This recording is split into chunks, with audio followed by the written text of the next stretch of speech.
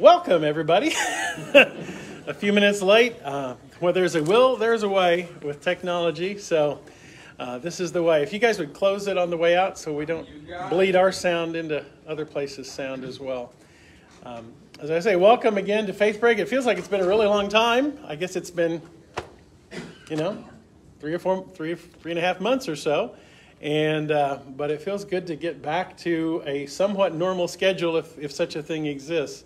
And um, as I said, I started to say, Corinth, uh, Corinthians, the two letters in the New Testament that Paul wrote to the church at Corinth, are, are really some of the most crucial important letters um, that are in Paul's writings. I, I want to remind us all because I don't know about you all, but until I, really until I was maybe at least in college and maybe seminary, um, I didn't really think about where did the Bible come from and why do we have Paul's letters and how did they get there in the Bible? Because you just grow up and it's just it's in the Bible. And well, where'd that come from? It's in the Bible, and you don't really question that or think about that.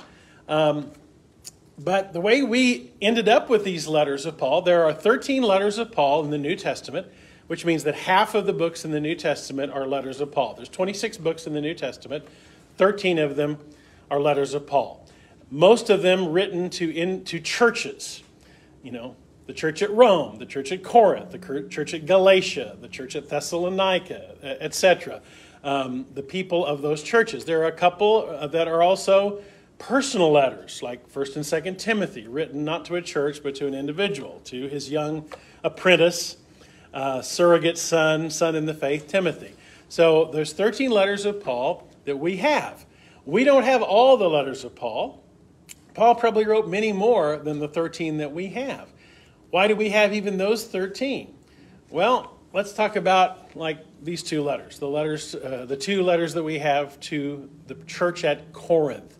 Um, Paul, as we'll talk about tonight, uh, had been to Corinth, had founded the church in Corinth, Later on, when he is not in Corinth, he gets letters from them with questions, uh, with problems, with updates. And Paul responds to those, to those letters and writes letters to those churches that he had formed, that he had founded, that he planted. The people of Corinth, they get that letter, that singular letter, hand delivered. This is, um, you know, letters had to be li- delivered by hand. There's no postal service. Obviously, there's none of the modern technology that we have. So letters are delivered by hand. The people of the church in Corinth get a letter. They read it to the congregation uh, at a, probably on a Sunday morning. Um, they share it with the people of that church. But that letter is so full of wisdom and guidance that people make copies of it people make handwritten copies of that letter.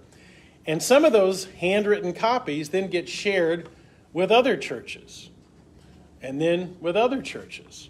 So copies are made of that original letter and you know the people in Corinth say I know I have friends in Ephesus they would really benefit from reading this letter from Paul. So a copy of that letter is made or at least sections of that letter are copied and given to people in Ephesus or Galatia or, or some other place. And then they make copies and it gets distributed that way. When the Bible is actually assembled by the church, it's two to three hundred years later. And, and the church, you know, when they're not running from persecution, when they're finally able to sort of take their breath, they start assembling what we would call the New Testament.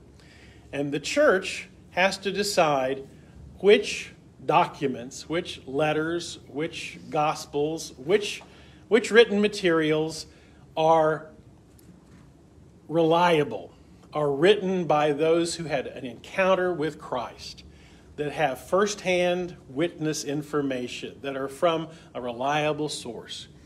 And they gather those together and more and more and more copies are made until the church begins to collect those documents. Paul's letters, the Gospels of Matthew and Mark and Luke and John, letters of Peter and James, the book of Revelation, which is a whole other thing, but those letters get collected and read in churches. So, what we have, you know, when we have our Bible, these letters, we don't have any of the original manuscripts. We don't have any of the actual handwriting of Paul. We have copies. And there's a whole science of, of scholars whose job it is to try to date those copies. How close to the original were they copied? You know, were they copied five or ten years after the original? Were they copied 50 years after the original? Are they a copy of a copy of a copy? You know, how, how close to the original manuscript of Paul can we get? And that's the way it is with any book of the Bible. There's a whole field of biblical scholarship. I had to take a class in this. There's a whole field of biblical scholarship that examines texts, that examines manuscripts, that examines copies, that examines scrolls. And their job is to determine where are the most reliable, most ancient, most close to the original versions we can find. So that's a whole science of biblical scholarship. Now, a side note that just to tell you how careful these copies are. The New Testament copies that we have, you know, Paul is Paul's letters are some of the earliest documents we have. Paul wrote these letters primarily from the late 40s up through the early to mid 60s, as in the year 45 AD up through maybe the year 62, 63 AD. That's when Paul wrote these letters. And so some of the copies we have are dated from that first century, very close to the original, some of the copies we have. The Old Testament books, of course, are much, much, much older. And how many of y'all have heard of the, the Dead Sea Scrolls? you know, how many of you know what they really are? Because you may have heard of them, but it's like, well, I've heard of the Dead Sea Scrolls, but I'm not sure I know what they are. Back in the 1940s, there was a, a boy uh, just walking through some of the desert places in, uh, in Israel. And he was just kind of messing around, throwing rocks, throwing sticks. He went into a little cave and he found jars in that cave. And without going through the whole thing, the, the jars in that cave near the Dead Sea contain scrolls of Old Testament books that dated back to the first century AD.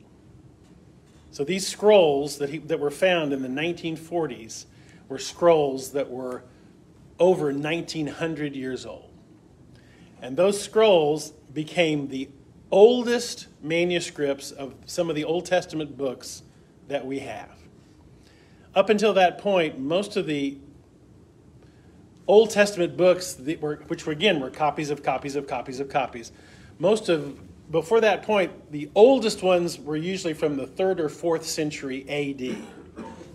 So these, the Dead Sea Scrolls, were older than any existing Old Testament copies. So, of course, they compared the Dead Sea Scrolls with the ones that we had had, well, you know, for centuries. The ones that were used to translate the King James Bible in the early 1600s they found almost zero differences.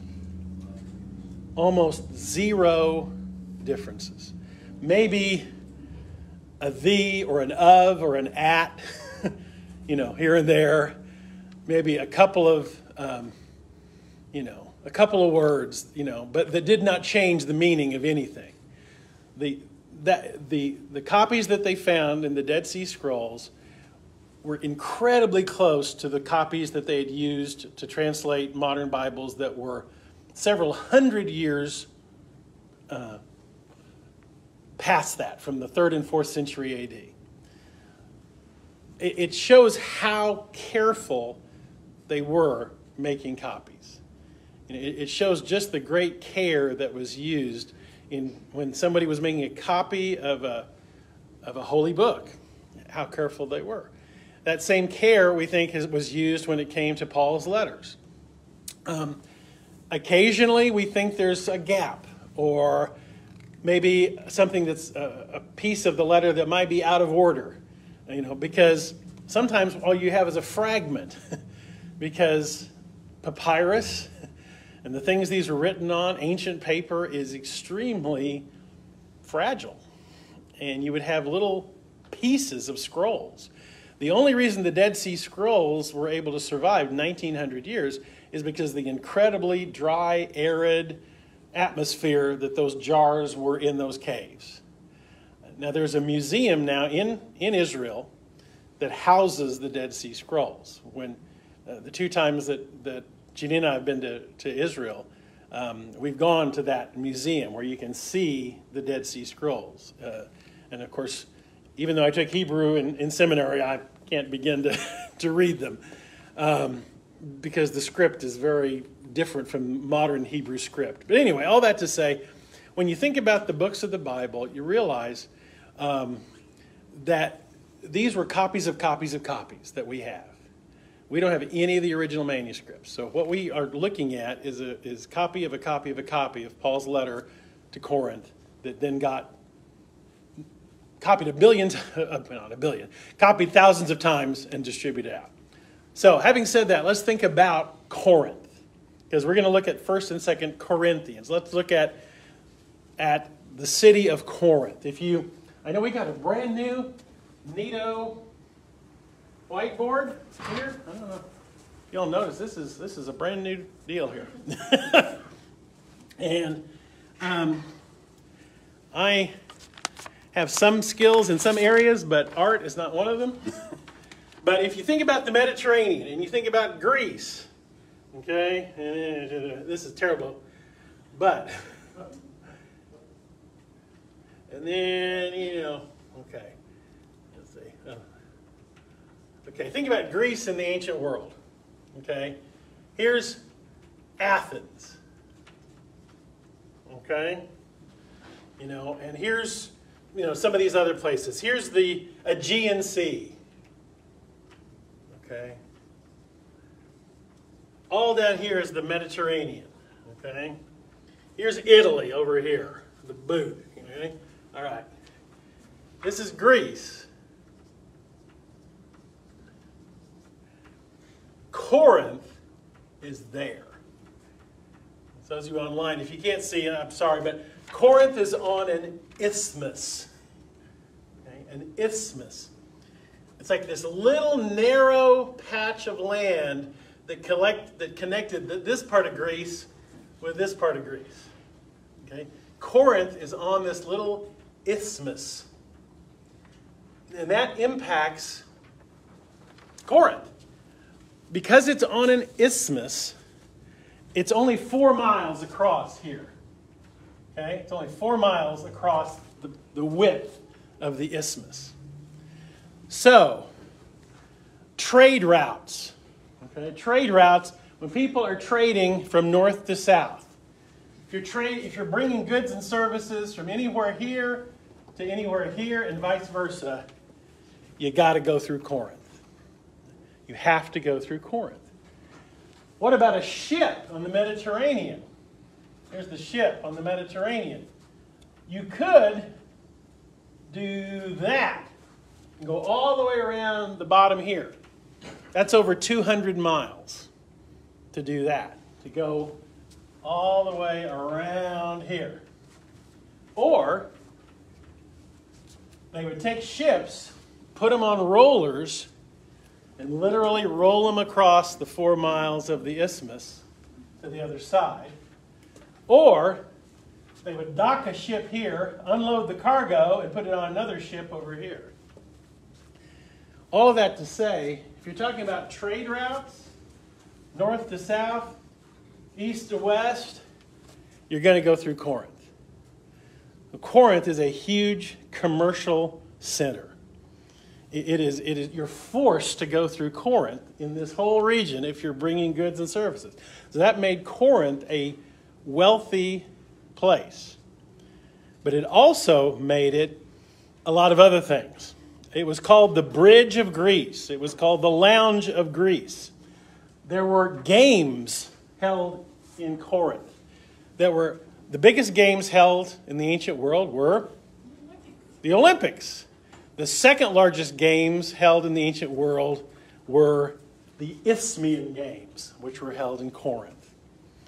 So the, the second largest games were held in Corinth. Now, a place that is a commercial center. Um, all kinds of people from just about every walk of life are in Corinth. Um, Corinth, I've said this before in sermons and lessons. If you tried to think of a modern American city that would be somewhat analogous to Corinth, the analogy would be Las Vegas, as in Sin City. Corinth was a city where you could find any vice you could imagine. And one of the main reasons for that was the, the center of town was the temple of Aphrodite. The temple of Aphrodite. If you remember your Greek mythology, Aphrodite is the goddess of what? Love. That's right. Aphrodite is the goddess of love. Her, her Greek name is Aphrodite, her Roman name is Venus. She is the goddess of love. And therefore, how do you worship Aphrodite? with sex. The temple of Aphrodite employed a thousand prostitutes. A thousand sacred prostitutes worked at the temple of Aphrodite. So this was how you worshiped the goddess Aphrodite, was to sleep with one of the sacred prostitutes. So this added a lot of um, people made journeys to Corinth. Um, there were several jokes and sayings about that. Um, one of the sayings of the ancient Greece was, Not every man can afford a trip to Corinth. Um, there was a verb in Greek, to Corinthianize. It meant to live a life of debauchery, to live a life of indulgence and sin in Greek plays and in Greek dramas, you know, and of course in Greece, plays and dramas are a big thing. Um, when a character would come on stage and they would say, where, where are you from? Or you know, what's your hometown? And the character would say, Corinth. The audience would laugh because they knew the character was going to be a drunk. So that is the reputation of Corinth. Corinth is Sin City. Corinth is also the trade center, the crossroads of Greece. Um, and, and, it had a very mixed population. Um, there were retired Roman soldiers who lived there. Uh, there were sailors who lived there. There were tradespeople who lived there. There were people from many different countries who lived there. There was a large Jewish population in Corinth. There's lots of different types of people, a very, you know, mixed bag of folks living in Corinth. Now, with that in mind, understanding that what Corinth is, um, you know, I, so if you're my age or older, you remember an old, really old commercial about fine Corinthian leather. I think it was Ricardo Montalban doing that commercial. Uh, if you think of architecture, you talk about Corinthian columns, you know. Um, but before we actually read the first chapter of 1 Corinthians, let's read about Paul's time in Corinth. Okay, because Paul starts a church, founds a church in Corinth, and that'll help us to understand his letter. So go back to the book of Acts. Um, the book of Acts, chapter 18. Acts, chapter 18.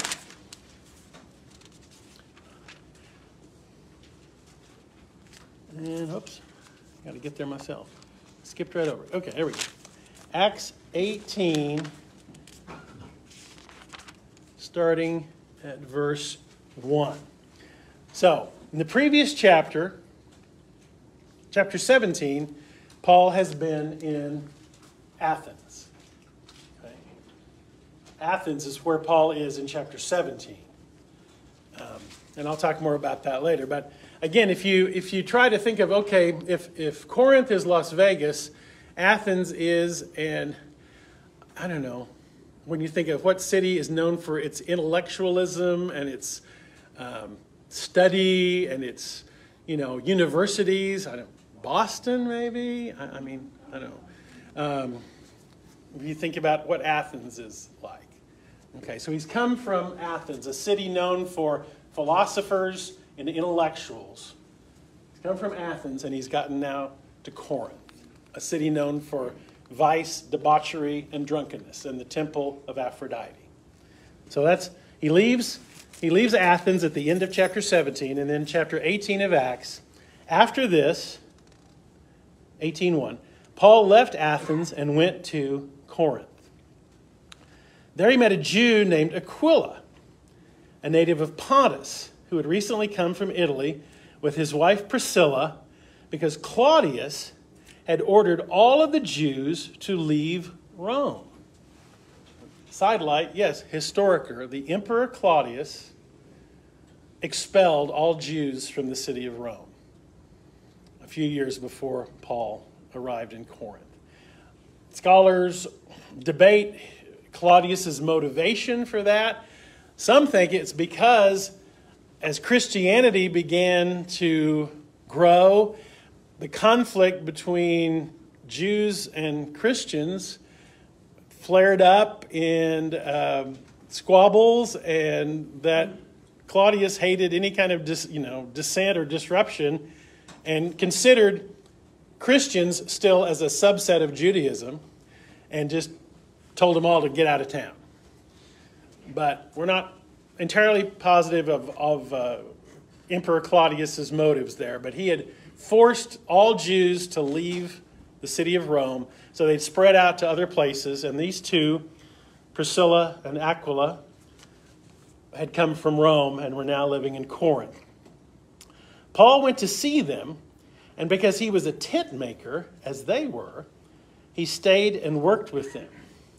We know this about Paul. Paul wasn't just a traveling preacher, Paul wasn't just an evangelist uh, or a missionary. He had to feed himself, he had to make a living.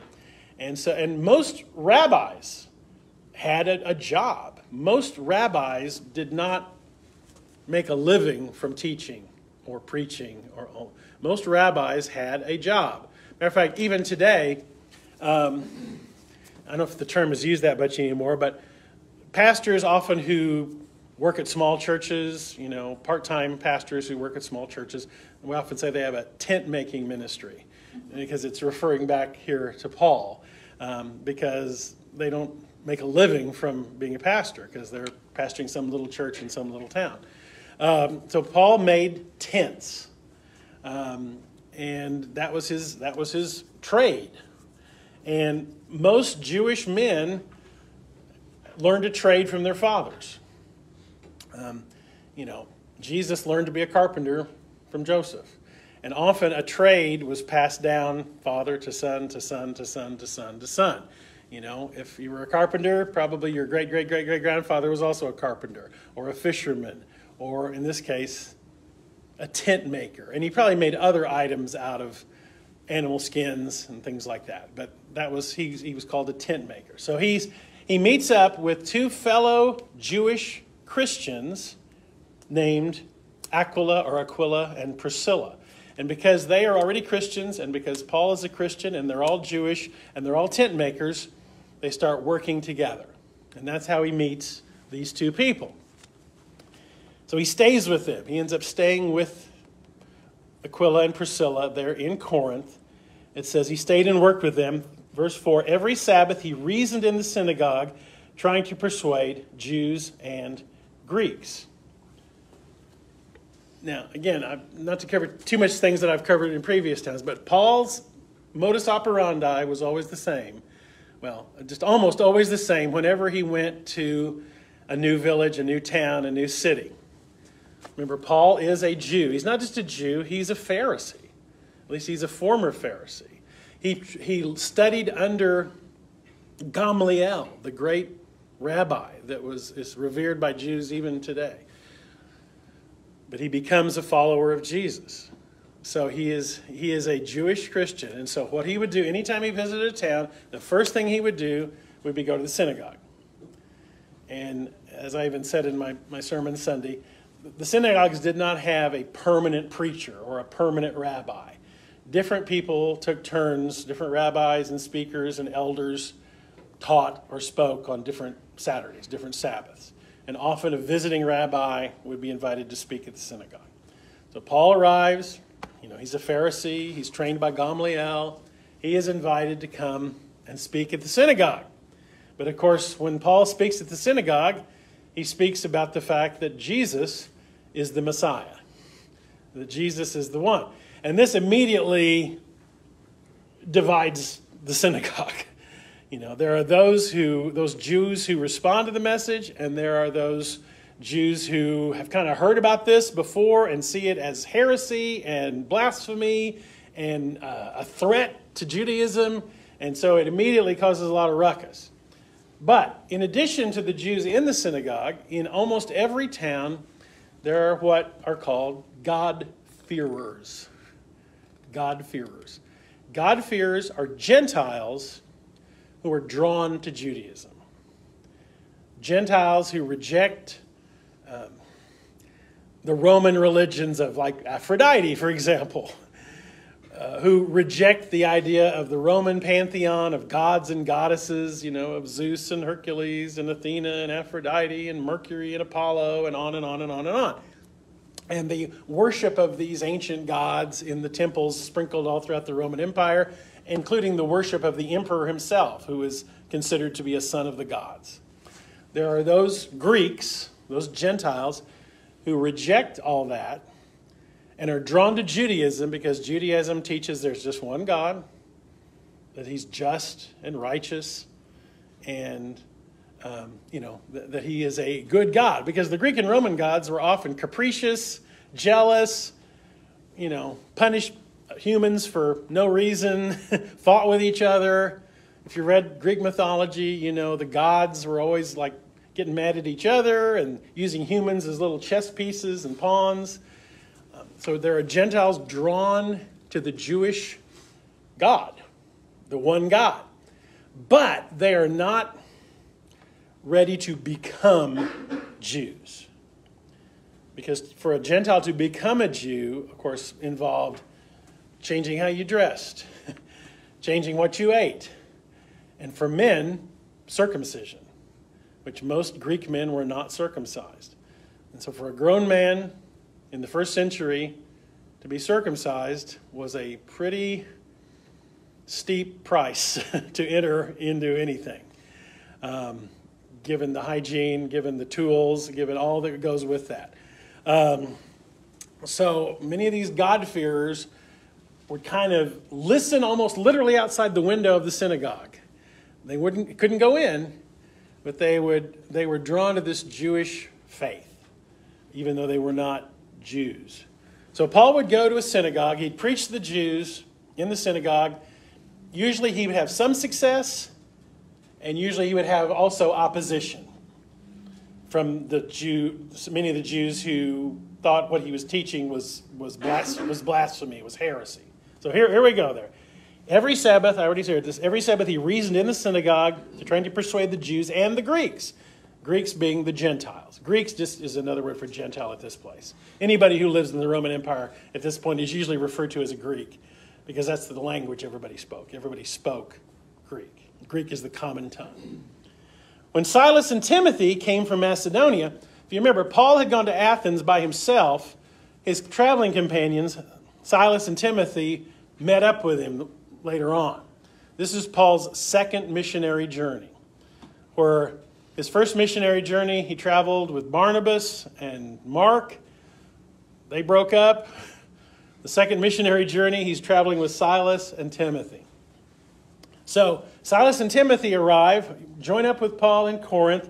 It says, when Silas and, Paul, and Timothy came from Macedonia, Paul devoted himself exclusively to preaching, testifying to the Jews that Jesus was the Messiah.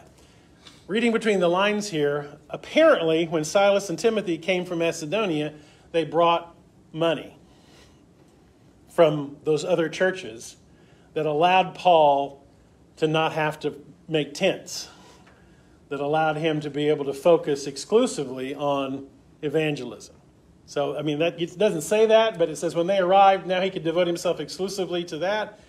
There had to be monetary support had to be a part of that. So that's probably what we understand from that.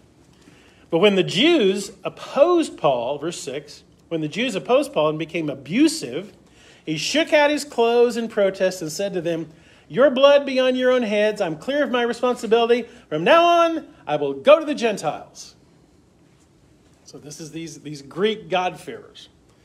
Then Paul left the synagogue and went next door to the house of Titius Justus, a worshiper of God. So he, he literally, there's a, a house next door to the synagogue Paul, because of all the opposition in the synagogue, starts preaching and teaching next door at this house of this Christian believer. Crispus, verse 8, the synagogue ruler and his entire household believed in the Lord. And many of the Corinthians who heard him believed and were baptized.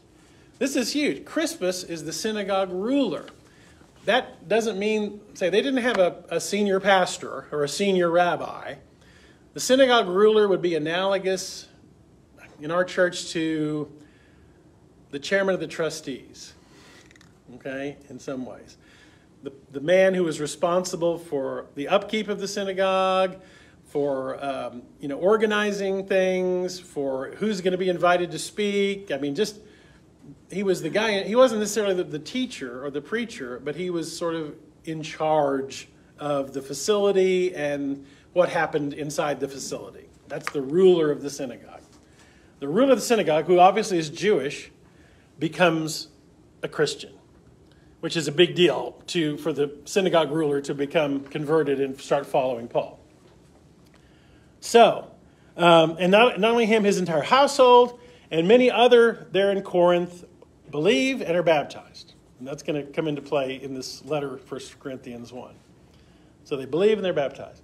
So Paul's in Corinth, verse 9. One night the Lord spoke to Paul in a vision Don't be afraid, keep on speaking, don't be silent. I'm with you, no one's going to attack and harm you. I have many people in this city. So Paul stayed on for a year and a half teaching from the Word of God. So Paul is in Corinth 18 months. We don't always know that. We don't always know how long Paul stayed in these various towns and cities, but here we know he's there a year and a half. He's there 18 months in Corinth. When Gallio was the proconsul of Achaia, the Jews made a united attack on Paul and brought him into court.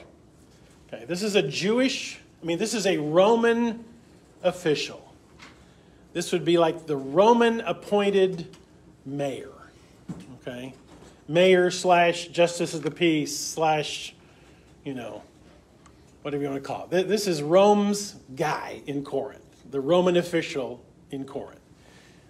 The, the Jews who are now upset at Paul as being one, um, they would say a heretic, a blasphemer, and he's stealing our folks. folks are leaving the synagogue and going next door and listening to Paul instead of coming to the synagogue. So they're upset with Paul. And so they bring Paul before the secular Roman magistrate. Okay? They bring Paul before the secular Roman magistrate. This man, they charge, is persuading the people to worship God in ways that are contrary to the law. Of course, the key is whose law? Which law? Not Roman law, Jewish law.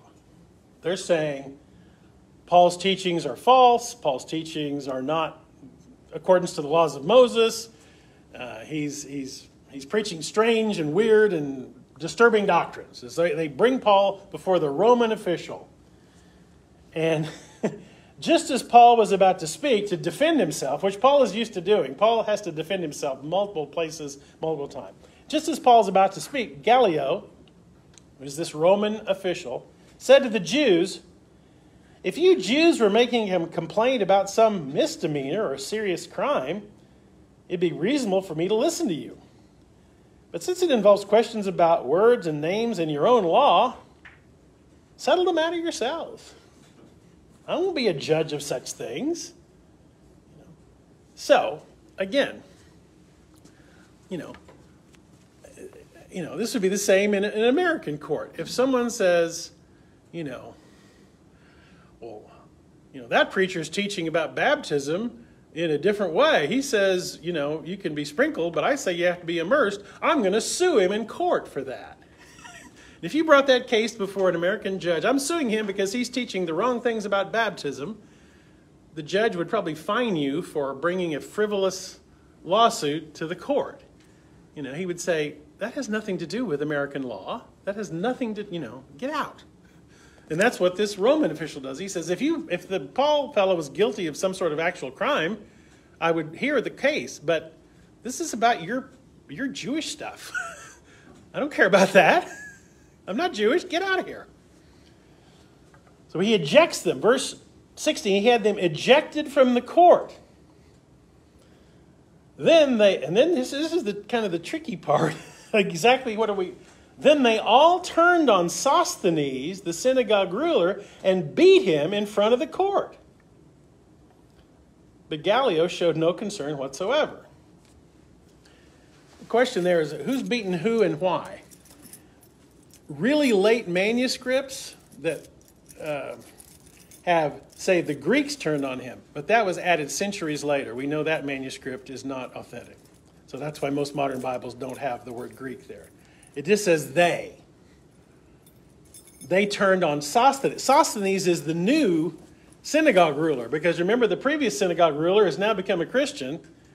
So apparently, they've got a new synagogue ruler. Um, and it, in context, at least it appears, at least especially in the Greek, the way it's worded, it's the other Jews who beat him. Like, well, why are they beating the synagogue ruler? Well, the first letter to Corinthians may answer that question, actually. Um, but did they beat him because why did you make us look foolish in front of this judge? Or why didn't you come up with a better case? or, I think we're going to see, maybe Sosthenes himself has now been influenced by Paul. And maybe he's going to follow the previous guy, and he too may be following Paul and leaving as the synagogue ruler. And there's a clue to that that we're going to read here in 1 Corinthians 1. So, Paul stayed in Corinth, verse 18. Paul stayed on in Corinth for some time, and he left the brothers and sailed for Syria, accompanied by Priscilla and Aquila. And that's the end of the book of Acts telling us about Paul's time in Corinth. Okay? So that keeping that in mind, now we can read his letters to Corinth. Um, but I think it's important to realize he, when he's writing this, he's not just writing to just any old person. He's writing to a church that he founded. He's writing to a church that he started. People that he, and he knew, he stayed there for a year and a half. So he knew these people pretty well. It wasn't like he just stayed there for a few weeks, planted a church, and then kept going. He was there a year and a half. So this is a church he knows well. He knows the people there. He knows, he knows the town. He knows this place. So now let's turn to 1 Corinthians, first letter to Corinthians, 1 Corinthians 1. Um, we know this letter, we can date this letter approximately 55 AD. That's when Paul wrote this letter. We know he wrote the letter when he was in Ephesus. So Paul is in Ephesus writing a letter to the people of Corinth. And it is obvious that he is responding to problems in the church. One of the issues with Paul's letters that we always have to deal with is uh, reading one of Paul's letters is like hearing one side of a phone conversation. Because Paul is answering questions but you know, he's answering a letter. He's answering a letter that he's received, going, "What do we do about this?" And this guy says this, and what do we believe about this? And we have this problem. And he's answering their problems and he's answering their questions. But we don't have the letter that he's answering.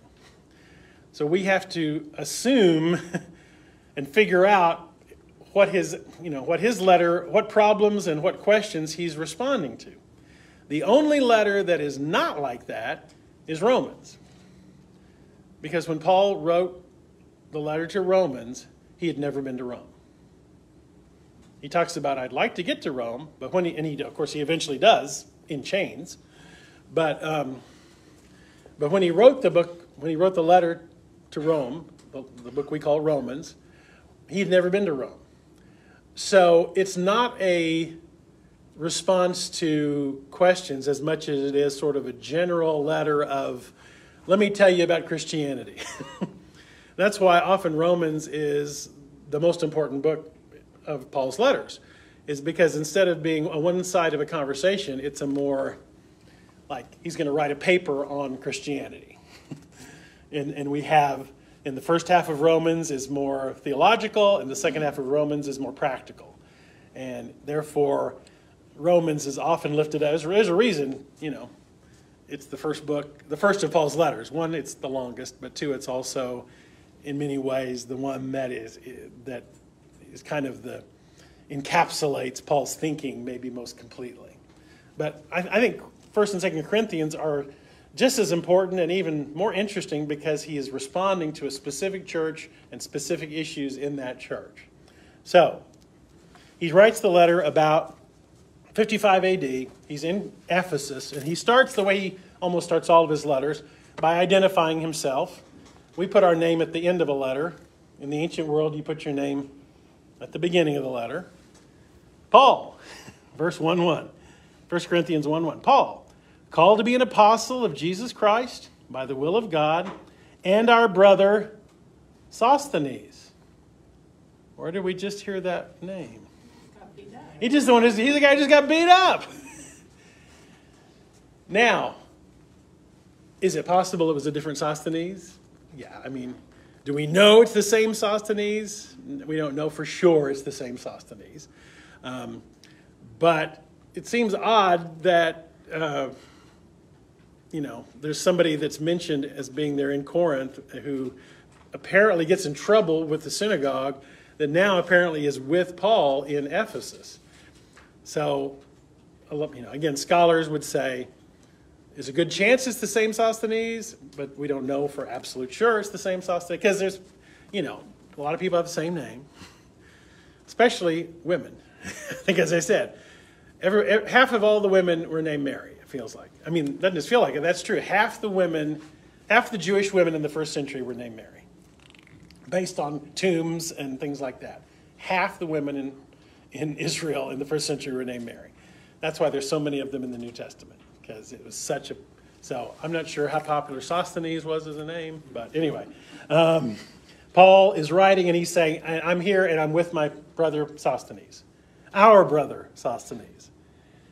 Two, so it's from Paul, to the church of God in Corinth, to those sanctified in Christ Jesus and called to be holy, together with all those everywhere who call on the name of our Lord Jesus Christ, their Lord and ours, grace and peace to you from God our Father and the Lord Jesus Christ. So this is just beginning with a greeting, basically. But uh, you know, one of the things he says there at the very beginning is he talks about them being sanctified, um, which not every translation uses the word sanctified. Does anyone have a different word in verse 2 than sanctified? That's the most common translation. But it, it just, you know, we, we use these long theological words. Um, and and the, you know, we, we use two words primarily when we talk about our faith in Christ. We talk about being justified and being sanctified. You know, and th- those two words have to both have to do with what it you know the Christian life. Justified, justification, means made right with God. How are we made right? We're made right not by what we've done, but by what Jesus has done. We are justified by Jesus' death and resurrection. We're made right with God by that. But sanctification, sanctus, is, is a Latin word, uh, but it comes also from a Greek word. Sanctus, uh, well, what do we call the room where we worship? The sanctuary, same root word. Sanctuary, S A N C. The sanctuary is the holy place. The holy place. The sanctuary is the holy place. So, sanctified or sanctification means to be made holy. So, you know, some of you, who's been on the walk to Emmaus? A couple of three of y'all. Um, the walk to Emmaus is a weekend retreat, Christian retreat, that really focuses on grace, but they talk about justifying grace and sanctifying grace. You know, we're justified. Justification is our entrance into the Christian life. But sanctification is the process of living the Christian life where you become more and more holy. Hopefully, the longer you walk with Jesus, the holier you become. And, and even the word holy, of course, doesn't mean what people think it means. People hear the word holy and they think it means perfect or, you know, I don't know, somebody who has a halo on their head or something. The word holy literally means set apart. To be holy is to be set apart. Um, to be, you know, God is God is a holy God because He is set apart from humanity. He is different in every way from us, and yet we're made in His image. He is He is He is He is set apart. He is holy. This book is the holy book. The Bible just means book. It's the holy book. It's the book that is set aside. It's different from every other book. To, to be holy is to be set aside for a special purpose. Um, and I often use, you know, to be a silly analogy, anything that's set aside for a special purpose is, you could technically call holy. If you have guest towels at your house and they're only to be put out when you have guests, those are holy. okay? Because they're set aside for a special purpose. So they're only to be used when guests are coming, those towels. They're, so they're, they're holy. You know, but then you'd say, what about the towel you used to dry the dog when he's wet. Well, in a way, if you always only use that towel to dry the dog, it's also set apart for a special purpose. You know, it would also be holy. So holy is set apart for a special purpose. So he says, You are sanctified. You are, you are a holy people. And of course, he uses the word saint to talk about all believers. You know, sometimes he'll say, to the saints in Corinth, to the saints in Galatia, to the saints in Ephesus, to the saints in Rome. Again, saint doesn't mean a perfect person, Mother Teresa. It just means somebody who is a part of God's family, somebody who has been, been brought to Christ. You know, that we, so the saints is all of God's people. So when the saints go marching in, it's not just you know, the ones the Catholic Church has declared to be a saint, or the football team in New Orleans. I mean, it's, it's all of God's people are the saints. Um, anyway, so he says this to the people of Corinth I always thank God for you because of his grace given you in Christ Jesus, for in him you have been enriched in every way, in all your speaking and in all your knowledge, because our testimony about Christ was confirmed in you talking about his, his time there, his preaching there. Therefore, you don't lack any spiritual gift as you eagerly wait for our Lord Jesus to be revealed. This is, remember, in Paul's early parts of Paul's ministry, he and many, many, many other Christians thought Jesus' second coming was imminent. They, they really thought they would live in their lifetime to see Jesus return. And in Paul's early letters, you can see he thought that was, in his early letters, he says basically, it's better not to get married because the time is so short. In his later letters, he says, yeah, you better go ahead and get married. Because he says it's better to marry than to burn, as in burn with lust. Um, so, but here he's still thinking, we're waiting for Jesus' return, and we've been waiting for 2,000 years. And everybody who says they figured out when that day is going to be has been wrong for 2,000 years. Um, he will keep you strong to the end so that you will be blameless on the day of our Lord Jesus Christ. In other words, when we are brought into the presence of Christ, we are declared holy and righteous, not because of what we've done, but because of what Jesus has done. We, we are clothed in his righteousness, to use another Pauline phrase.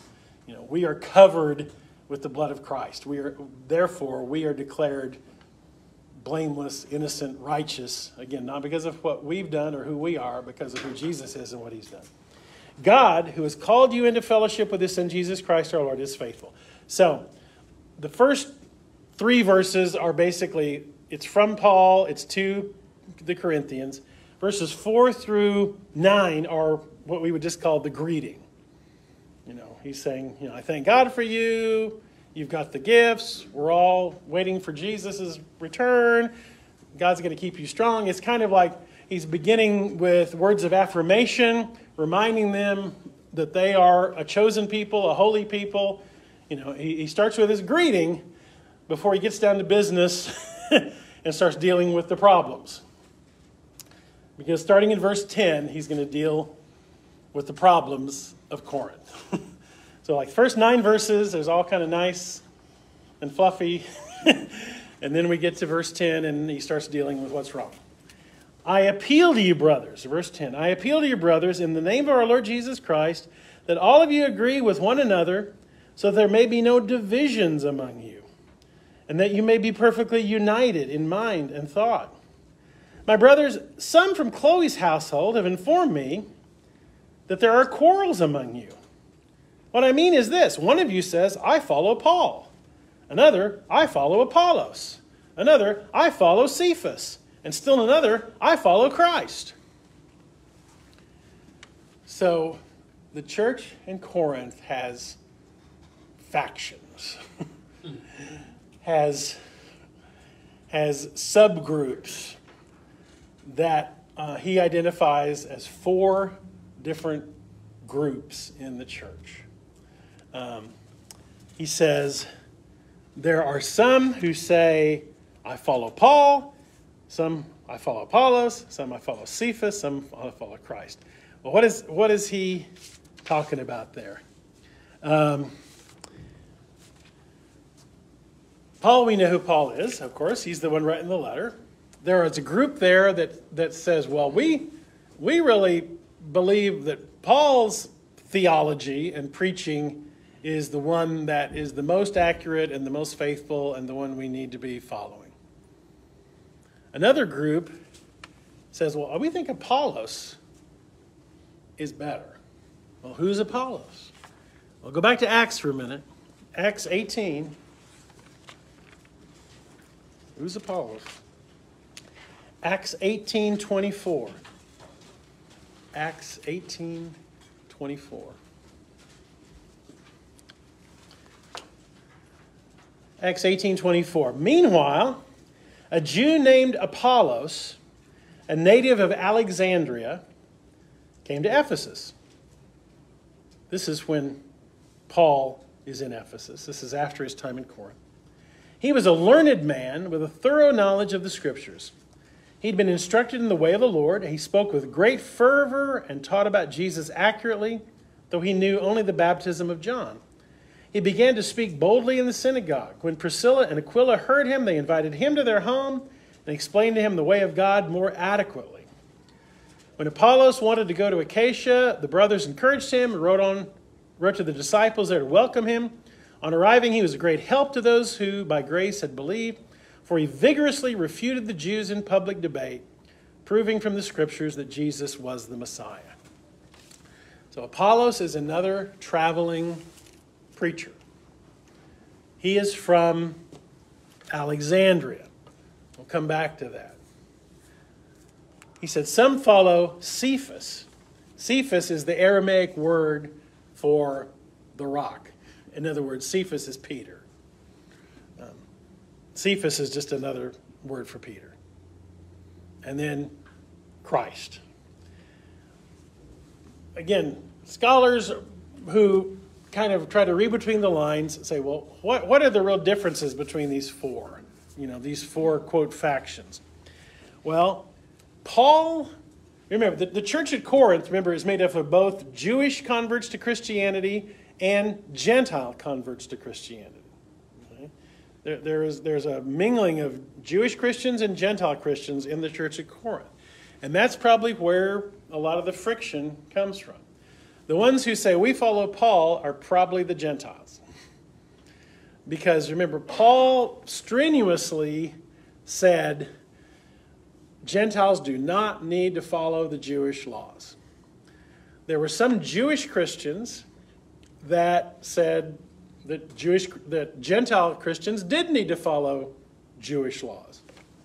If you remember, um, if you were part of one of my classes in the past about the book of Acts, in the book of Acts, in chapter 15, there's this big conference that the church has. It's, it's the first really big Christian council.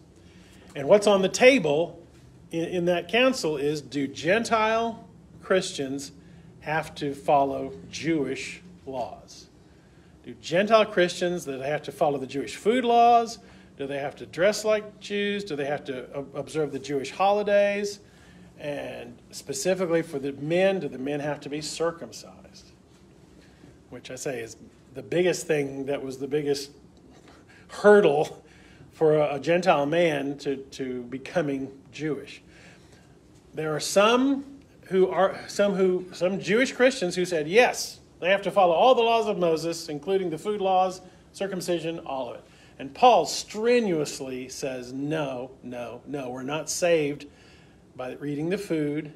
We're not saved by circumcision. We're not saved by any of those things. We're only saved by grace. We're only saved by the grace of God. It's not grace plus circumcision, it's not grace plus the food laws. It's only grace. It's salvation by grace as the only thing that saves us. And, and they have this council, and James, Jesus' brother, if you remember, James, Jesus' brother, didn't even become a, a believer until after the resurrection. So this is not James as the brother of John, the fisherman. This is James, Jesus' brother, the author of the book of James. James has become now uh, one of the leaders of the Jerusalem church. And he says, Well, we're not going to make the Gentiles do any of that stuff. We're just going to say, Don't eat, uh, don't drink blood. um, because that's just so abhorrent to Jews to, to drink blood, and um, you know, stay away from fornication and food that has been used as a sacrifice to idols, and otherwise you don't have to obey any of the Jewish laws. And Paul doesn't even agree with that. Paul says you can eat the food that was sacrificed to idols. Well, that's going to be part of his conversation here, too. But basically, the, the ruling is no, Gentiles do not have to become Jews first in order to be Christians. So, this, this Corinthian church, there's probably an element of Jewish Christians in the Corinthian church that still want them to follow Jewish laws. You know, still want them to not eat pork, uh, to not, you know, et cetera, et cetera, not, not, not break the Jewish laws. So those are uh, ones who probably are opposed to Paul. Those are probably the party of Cephas, the party of Peter, are probably the Jewish Christians. The Gentile Christians are probably saying, We follow Paul. The Jewish Christians are probably saying, We follow Peter. Apollos, he is from Alexandria. And Alexandria, and everything we know about Apollos, Alexandria was famous for oration, producing great orators. And everything we know about Apollos, from the few mentions we have of Apollos in the Bible, Apollos was a great speaker. He was a great orator. He was a trained speaker. And so when he preached, he preached with beautiful eloquence and beautiful, you know, poetic language. And some people apparently thought, well, that's our guy. Look how educated he is. Look how Look how, what a brilliant speaker he is. Look what a spellbinding speaker he is. So that's probably the group that says, well, we think Apollos is, is, is the greatest. Then there's the group that says, well, we're the real Christians, we just follow Jesus. and you know, in every, I mean, not to throw any other denomination under the bus, but, um, you know, there's some great folks in the Church of Christ, but I'm going to throw them under the bus. Uh, because in, when I was in Ada and when I was in Atoka and everything else, I mean, we'd have these ministerial alliances, you know, where all the pastors in town would come together and have like a, a, a fund for homeless people or transients and put on a Thanksgiving things and all that. So you'd have the Baptist minister, the Methodist minister, the Catholic priest, the Presbyterian minister, et cetera, et cetera. Well, the, the, the Church of Christ pastors would never come because they believed they were the only real church. They were the only true church, you know. And, you know, if you tried to, you know, if you've seen me draw lines of, of where denominations come from, like, you know, you got you got just one church and then you split with Catholic and Orthodox, East and West. And then the Protestants, you know, you go the Reformation with Lutherans and Calvinists, and then you got the Church of England and you got all these branches. And, you know, if you study church history, like, okay, here's where the Church of Christ came from, and they broke off from this branch, branch, branch, branch. But if you talk to a Church of Christ pastor, they'll say, no, it's just the apostles to us, it's a straight line. You know, we're not a part of any of that. It's just the, the, the 12 apostles to the Church of Christ. And all you other folks are, you know, are not, not part of it. Um, I've known some really nice Church of Christ people, but, but they believe they are the only true Christians. At least that's what some Church of Christ congregations teach. And so you get this group. Well, we, we think Paul has it all right. Well, we think Apollos is the one. We think Peter, Cephas is the one. Well, we just follow Jesus.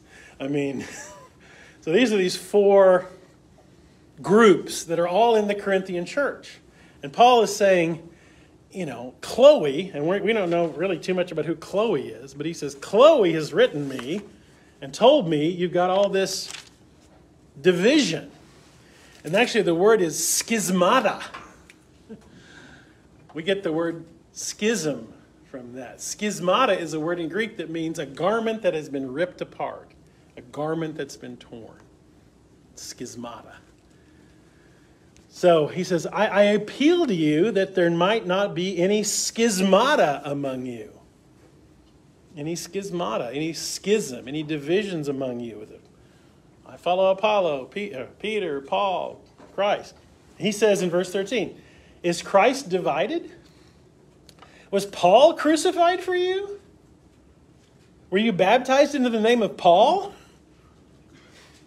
I'm thankful I didn't baptize any of you except for Crispus and Gaius. So no one can say you were baptized into my name. Well, yes, I also baptized the household of Stephanas. Well, beyond that, I don't remember if I baptized anyone else. For Christ didn't send me to baptize, but to preach the gospel, not with words of human wisdom, lest the cross of Christ be emptied of its power. Now, again, I, I often quote this as an example of again, some of our Christian sisters and brothers would say every word of the Bible is dictated by God. God dictated the Bible, and the authors of the Bible, they were just, you know, God was whispering in their ear, and they just wrote down whatever God told them to write down. Well, I really have a hard time imagining God saying, Now write down, I do not remember who I baptized.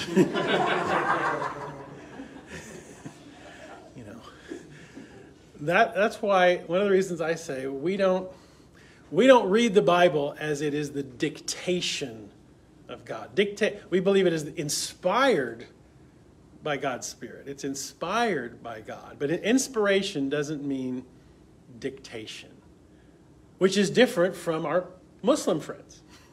As I've said, our Muslim friends believe the Quran is dictated by God they believe the Quran is literally the dictation of God. So their view of the Quran is very different from our, historically, the Christian view of, of the Bible.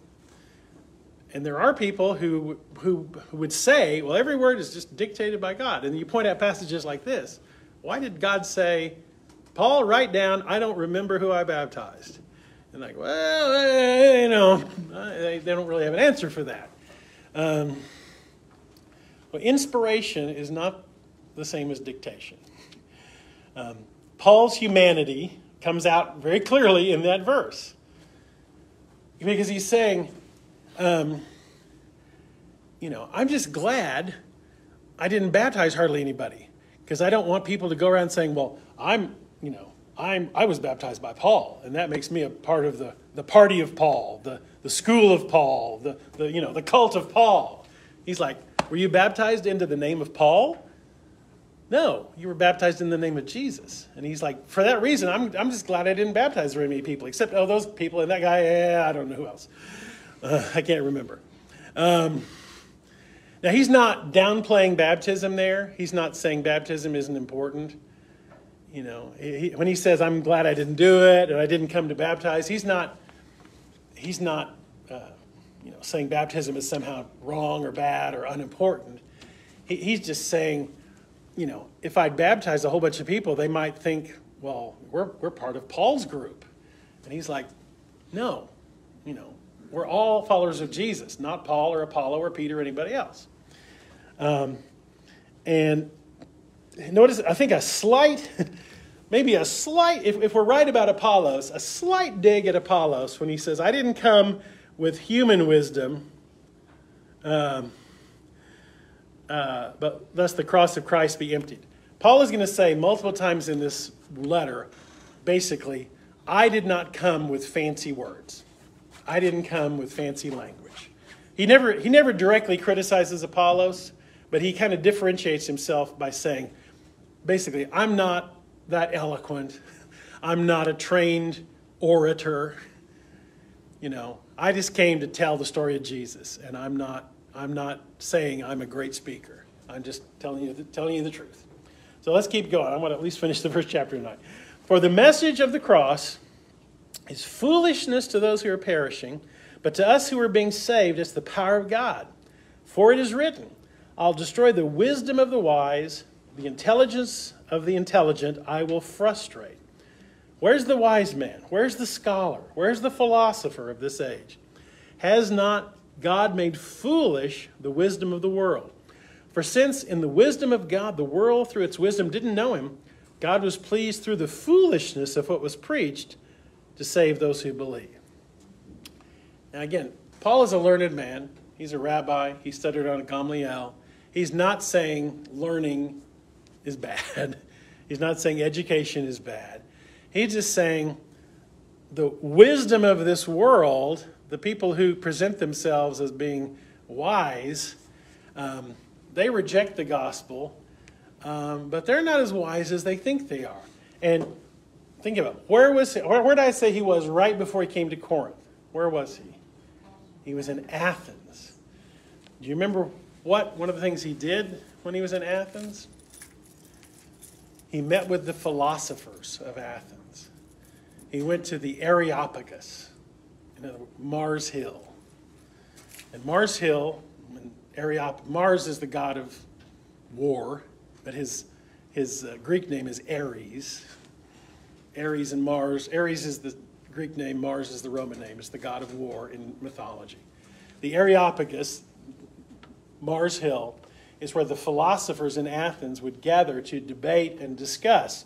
And just go back there just for a minute to chapter 17 of, uh, uh, and you see um, like who he was talking to. Um, let's see. Uh, yeah. Verse, chapter 17, verse 18. 17, verse 18. Paul is there in the Areopagus. It says, A group of Epicurean and Stoic philosophers began to dispute with him. So Paul gets into a conversation with two schools of philosophy the Epicureans and the Stoics. Um, and